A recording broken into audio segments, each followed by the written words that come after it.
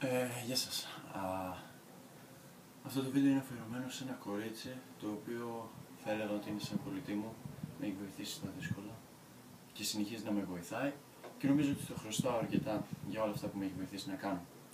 Ε, οπότε, ας αρχίσουμε. Κυριακή, δικός σου.